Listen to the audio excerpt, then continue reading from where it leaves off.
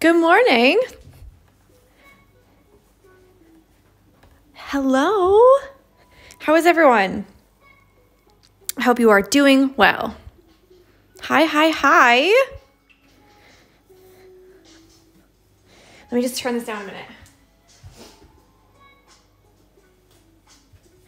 Okay. So, so sorry about the plumber yesterday. Um, he did find the leak and fix it. Um, but in the end, we have to get a new floor put down um, and do some adjustments to the bathtub. So I spent all day yesterday after the live. Um, I designed a new pattern and got some colors around to stitch it up. I did thread order, but then after that, basically I just looked at bathroom tiles for until about 12 o'clock at night.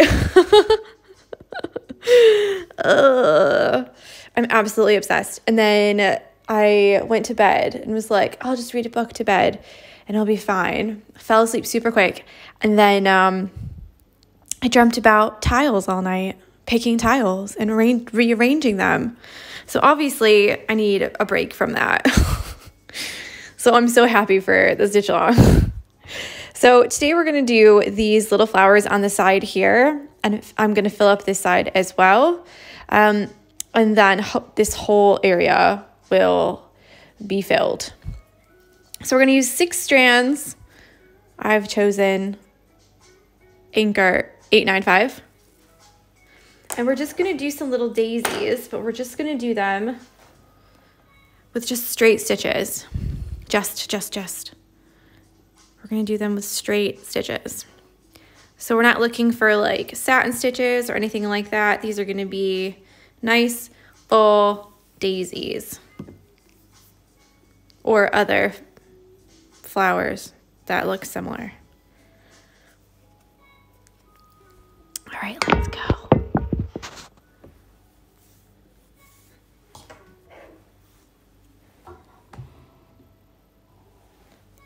All right, so you can choose to either do the flowers first or you can do all of the leaves first. That's up to you. Good morning, Marion, and good morning, Helen. New, they've just come. So don't forget these are here. I'm gonna put these on top of this one, just stitch right over it. So I'm gonna start with that one first.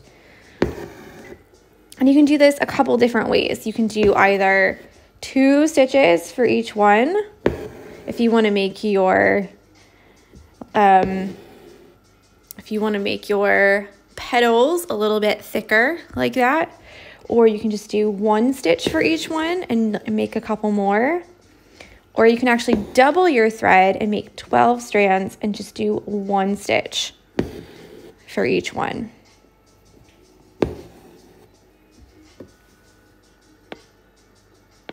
It's okay if you're behind, Helen. All of the videos are there um, except yesterday's because I was using my phone to make mock-ups of my bathroom. uh, see, I'm one of those people that I like um, something that's a little bit different and a little bit, you know, interesting and like not um, safe. But then also, I think um, with tile, it's hard because you can't just take it off if you want to do it do it again. You know? Like with paint, you can just paint it.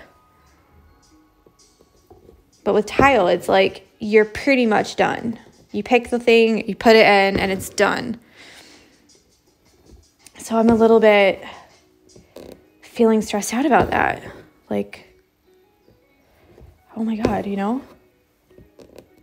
So I'm looking at some star tiles from Best Tile.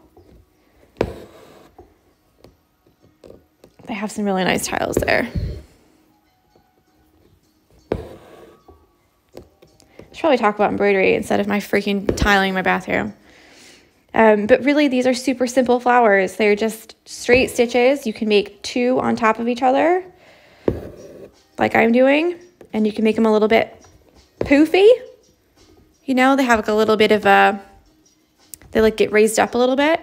Or you could do um, just one strand and fill it in even more. So you could even put one strand in between each of these.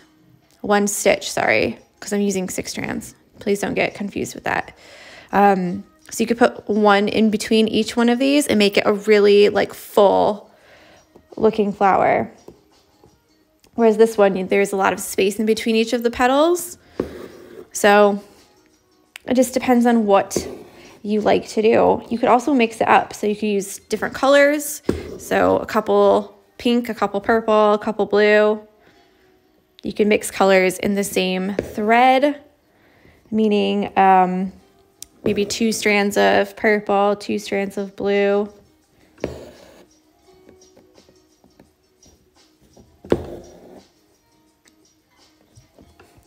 There's a lot of things that you can do with this. And because it's such a simple stitch, it's literally just two, two strands right next to each other. Even this one is two, two stitches right next to each other, not two strands. Um, but there's so many things that you can do with that. So on details day, um, which is towards the end, you can even do um, another color with just one stitch in the middle, like that. And it gives a little bit of color just in the middle there. Picking color is definitely difficult, but I always say if you go with your favorite colors, then you'll always like them, you know? Sometimes I've picked colors just because, oh, I don't have any of that in this one. And I end up not liking it because I think, do you know what? I don't even really like that color. I don't know why I've even picked it. Now with these, if you do 12 strands, obviously you just need to do one stitch instead of two stitches. Good morning, Melanie. Typical me, like not following the pattern here.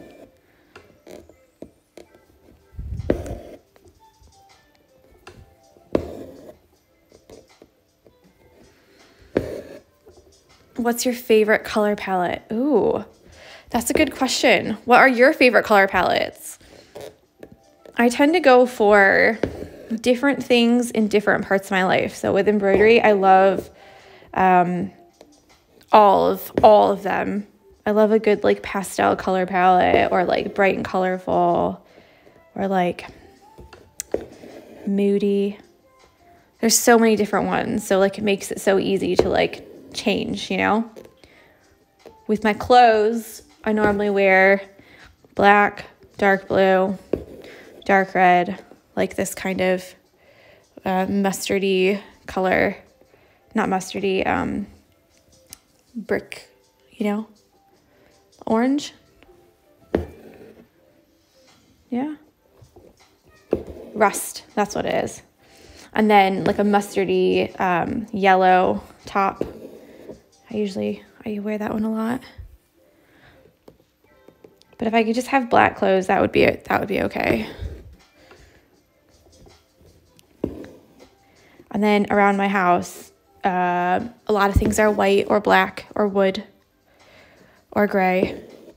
So I feel like in the embroidery, because I know I, I doesn't have to stay like that forever, I can like be a little bit more experimental with my colors and the things that I choose. And you know what? You can always change. So um, that's what I love. You know, I could do something really bright and colorful on this one, and then on the next one, do something completely different.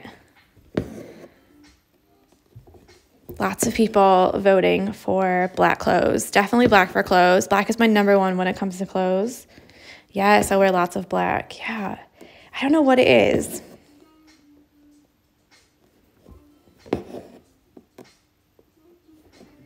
About creative people liking black clothes.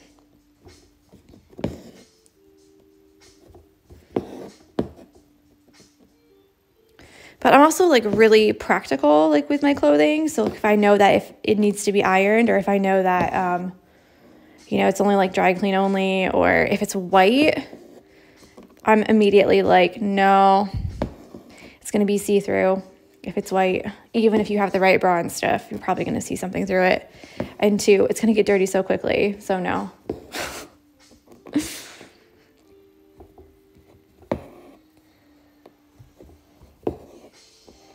I always tend to get things in black. Yeah, someone said I just think that it's timeless. Yeah.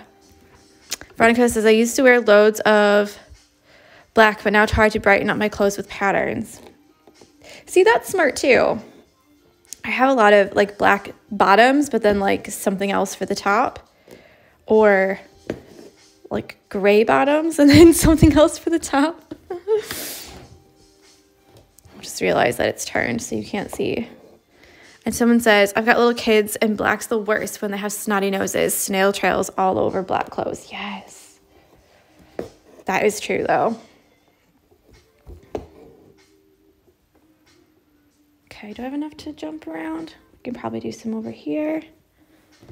Hannah. Thank you. I think I remember that from yesterday because someone called you L I E B E. The last part of your username. Yeah, so if you did 12 strands on here, you'd only need one go, you know, one stitch. Um, but it is a bit more bulky and they don't always lay flat together. So I will show really quickly how to do that on the very last one, just in case you wanted to try with 12 strands. Do you know what? I know that because someone's ordered, was it you? Someone's ordered a, um, something in German, uh, a handwriting hoop, and it's all in German. And, um, it's really funny because there's like a message and then it says like from like mom and dad and like something else and it's in two other people but it's in it's all in german and it's all in a handwriting. And i was having such a hard time because one i didn't know what it said because it's in german but but two um, because i didn't know what the message was it was really hard to know like how to space it you know like if you write like happy birthday really big. And then like at the bottom, normally you write a little bit smaller, like love Tori or something. I didn't know if it was meant to be like a, you know, something, something big, and then like love these people at the bottom. I was like, I don't know what it says. no, it was not you. Oh, okay. That's all right. I just found it really funny. I was like, I don't, I don't mean to be like rude, but what does it say? All right, so what I've done is I've got the two, two strands here, uh, two, six strands of thread here, yeah, tied on a knot, so it makes 12. And then here's just a loop. So I've just folded this long piece over and put a knot on the end. And you can see it'll look a little bit different.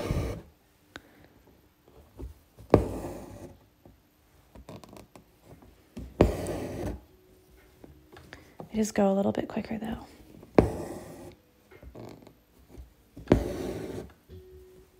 Sometimes the threads, um, they get a little bit tangled together. Um, not tangled like a knot, but um, tangled like twist, twisted around each other. So they don't make a, a nice, um, how when you have just six strands, you can like lay them right next to each other really nicely. But when you have 12, sometimes it will twist around together and not lay as nicely. I'm gonna make this one a little bit more full because these are perfectly spaced out and they look weird.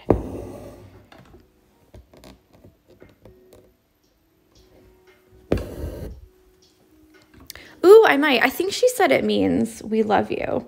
And then it's like her family, her family's names. But um, the handwriting was a little bit difficult too. Um, but that's why I love the handwriting hoops because it's so personal. You know, someone else might not know exactly what it means or what it says, but you might look at it and go, oh my God, I know exactly what that says.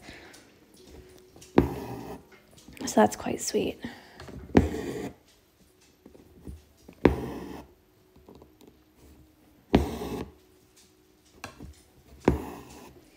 Jessie wants to go sit in the backyard, so she's just walking around just walking around me like, Do you see I am here? Please go open the door. but she's gonna have to wait, guys.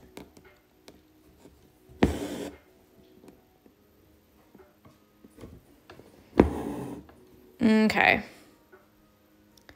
So there's a little bit, and I've just got this one more. I don't know what is it with six, because I did six over here, and I did six over here.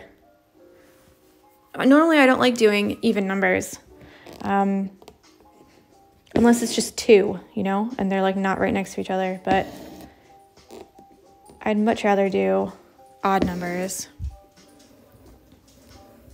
Those flowers look so pretty. It reminds me to use number 895 again. It is a pretty color, this pink.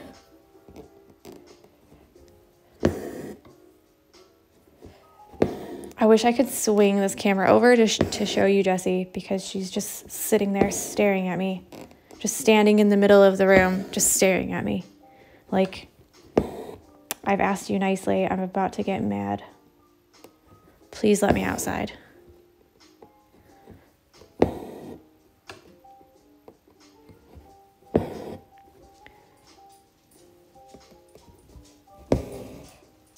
Okay, so there's that. I'll finish with these. And then I'm going to do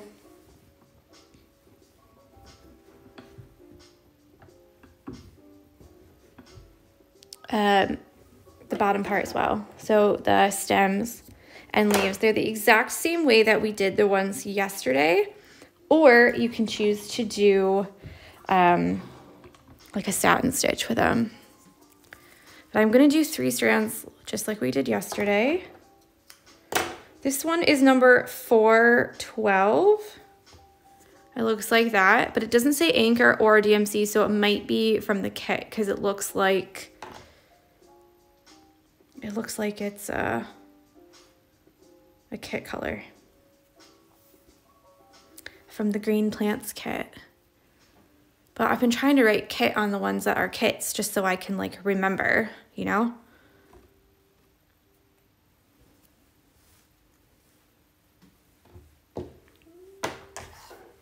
So I don't have to color match each one. So these ones you can do one straight stitch down or you can do the two back stitch like we did yesterday, how we did kind of two parts because some of them lean to the left and some of them lean to the right. These ones are pretty much straight up and down. I will put yesterday's video on YouTube. Um, I was just using my phone all day yesterday to sort tiles.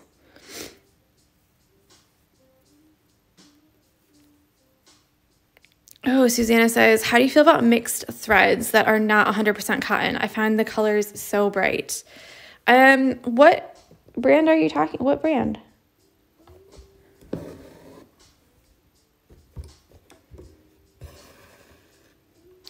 So I'm going to do just a straight stitch down and then I'll mix a little bit of the like little satin stitches so you can see what I mean.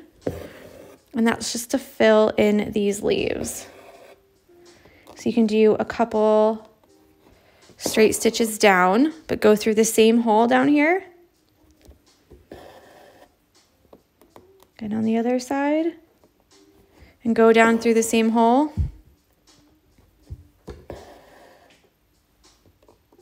And it can make that little, like, you know, She says, the ones I got are brandless. I, I got from Amazon. Oh. And you don't think that they're cotton? That they're not 100% cotton? I think most of the threads that I've seen are 100% cotton.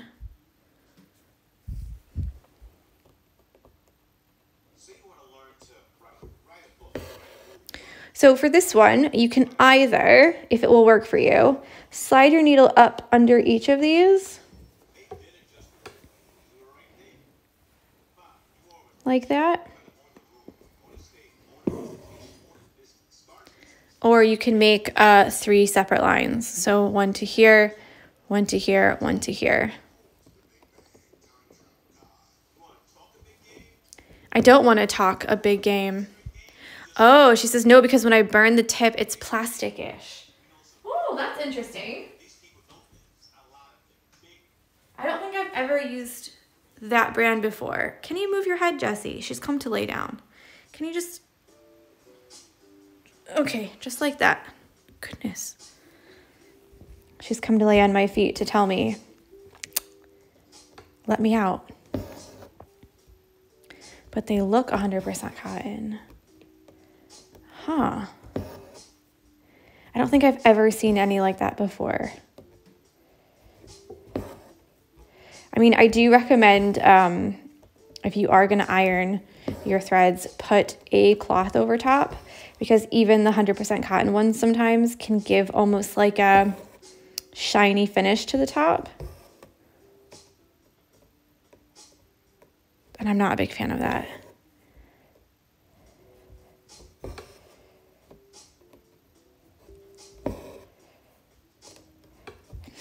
So obviously you can choose which way that you would like to do your stems and pet uh, leaves. Because we've done so many different kinds now, you should have a good idea of how to like mix and match to make it how you want it. There's no right or wrong way. So if you want to do some lazy daisies here to make that um, drop look like this, hi George, then you can. Or you can fill it in with a little stem stitch, or you could just do one straight stitch on either side, like boom boom. I would do more threads though, if you wanted to do that. Just because the three strands looks a little weak. It's not a very bold line.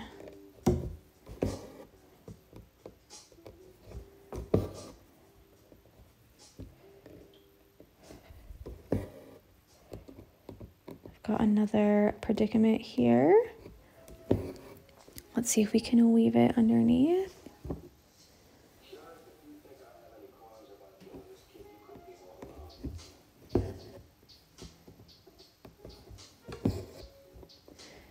So you can always weave them underneath, weave your threads underneath other threads. I love that we can count on a hi George in every stream. Yeah, so he's one of my friends who lives in London, and he started doing this last year. And every single time that he sees me online, he, he says hi with his little hand. Okay, we're almost finished here. And then obviously you still have the, I'm going to put this to the side. Obviously, you still have the greenery over here to do on this side. Um, so I would use the same colors that you did if you didn't if you didn't already fill in this side, because I know some people were waiting um, until we did the flowers on this side.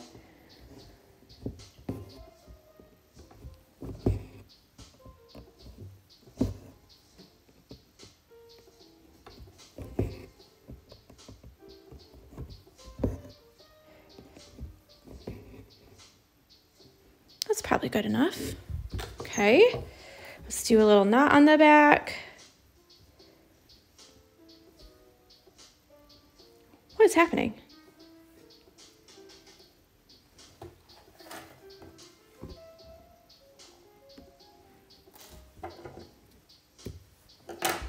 And then we'll just take these other colors and do that random-ish assortment of straight stitches, the lazy daisies, and give the other side some grass. And then we'll be finished. So again, you can fill this up as much or as little as you want to. Totally up to you.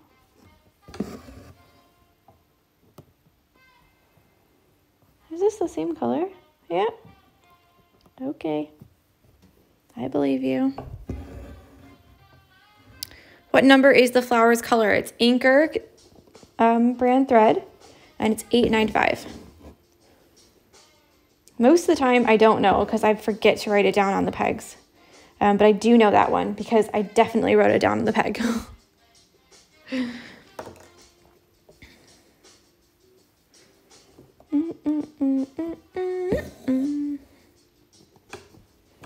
Now you can also use these little guys. I'll move it down in the middle, in the middle. Not the same, but anchor too, I see. So this right here is where you could always um, make some of these greeneries go around the house. So if you have a little mistake like I do here, where I've pulled this one too tight and made the threads um, pull in like that, then you could always put a little, almost like one of these, but just coming up around there. Yeah. Um, you could also just extend this little bulb one to be a little bit farther and just go over the house a little bit. So you can always fix your little uh, mistakes on the edge if you wanted. So remember the background, we'll do little ones. And the farther down we get, will be bigger. We're giving that illusion of perspective.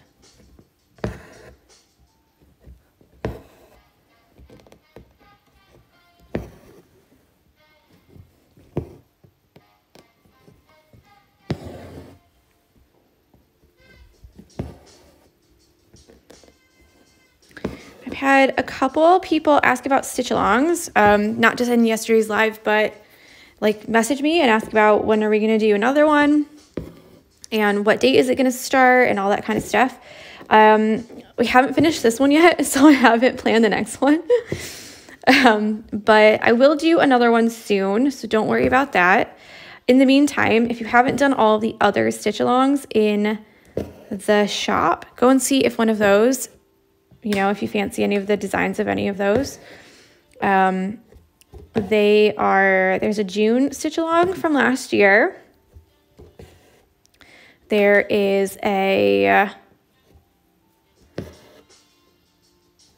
me think. There's the, the flowers and leaves one. There's the June one.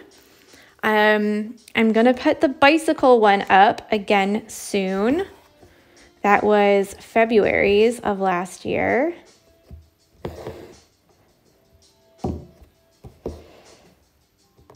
It's not quite up yet. I have to put all the patterns back together because if you remember last year, it was a four part mystery pattern. So I have to put them all back together after I've split them all up.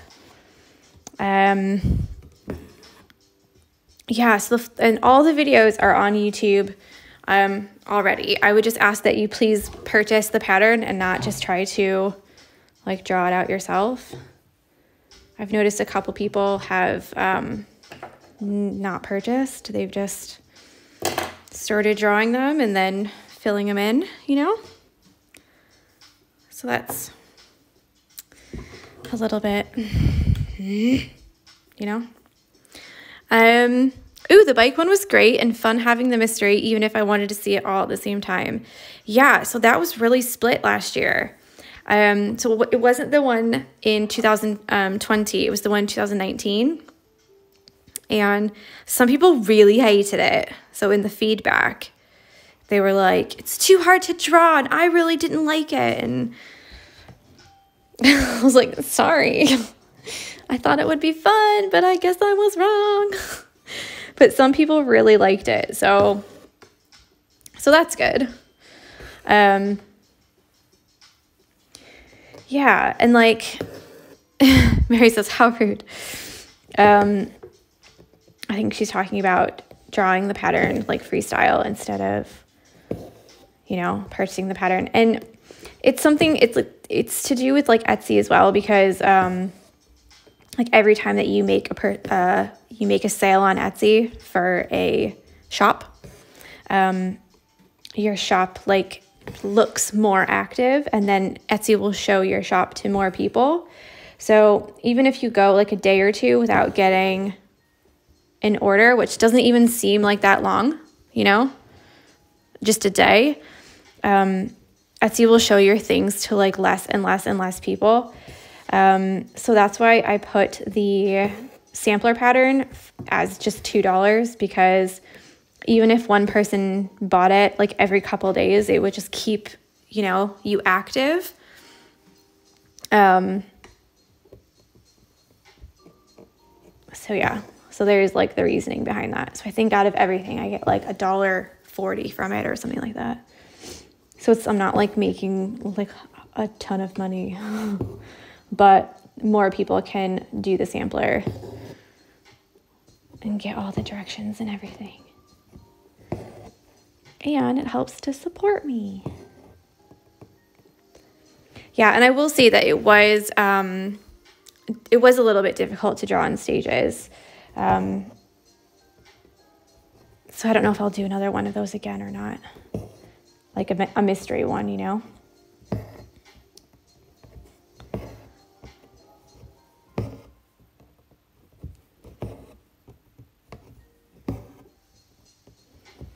All right, I've just got the one color to go back and do. And I think that this side will be all finished. So if you notice, I still, come on, come on, come on, just cooperate. If you notice, I still have the centers of all of my flowers to do. Um, and that's okay. Don't worry about it. We will have a details day where we're going to go through and I'll show you all the different ways that you can fill in um, your centers that are not just uh, French knots. Because I know a lot of people um,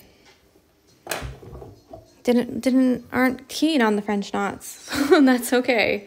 But there's other ways that you could fill them in too. So okay, so um, Elle says could may have maybe a window display. Each window is a mystery until that week. Oh, that would be fun. Like not to make one whole pattern, but like square, square, square, square. Or something like that.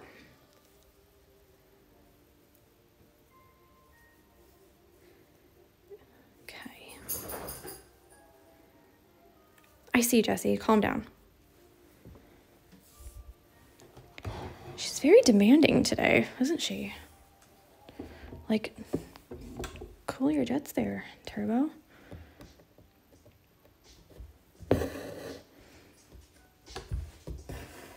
I will say that it is difficult to try and make random lines random. You always want to like do them in a certain like pattern. like two this way, one this way. I always find it really difficult to like try and keep it random looking.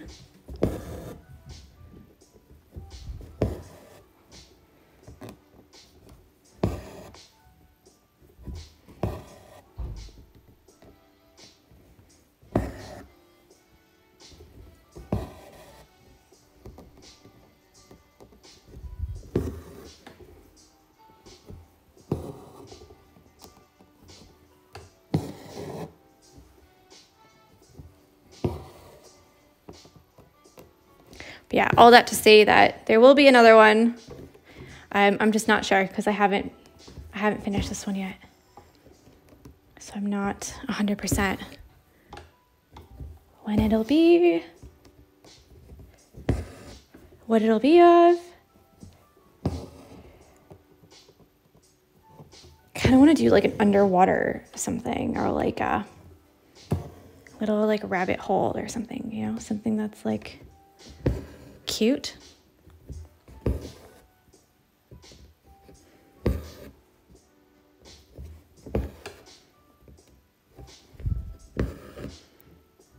Gives the rest of us time to catch up. Okay, where haven't I put any? Maybe just down here at the bottom corner. Yeah, I think a coral themed one could be like really fun. Because then you'd be like, yeah, like underwater. It'd be really difficult, I think, to like find the stitches for all the different things and like make sure that they looked a little bit realistic. But I don't know. I've, I've already started like trying to draw a underwater pattern. But we'll see. No promises, okay?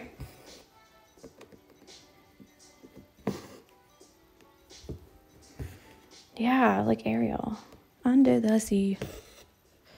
Coral. Oh my gosh, loads of people are liking coral. Oh Jesus, what have I done? I've told my idea and screwed myself. now I have to do an under the sea one down the rabbit hole like Alice in Wonderland so all the colors could be mixed up. Yeah.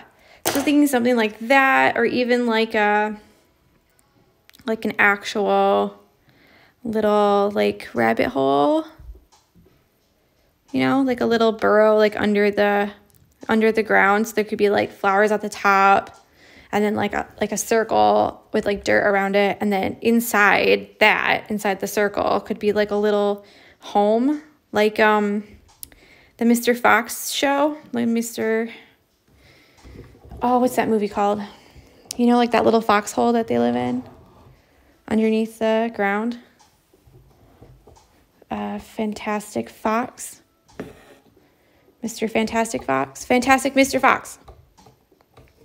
I would be so crap on a quiz show. Oh my God. Can you even imagine? Terrible. Yeah, I think it'd be cute too. Because like you could do like a little bit of flowers on the top or like a tree or something. And then if I don't do a stitch along for it, then I'll definitely do like just a pattern.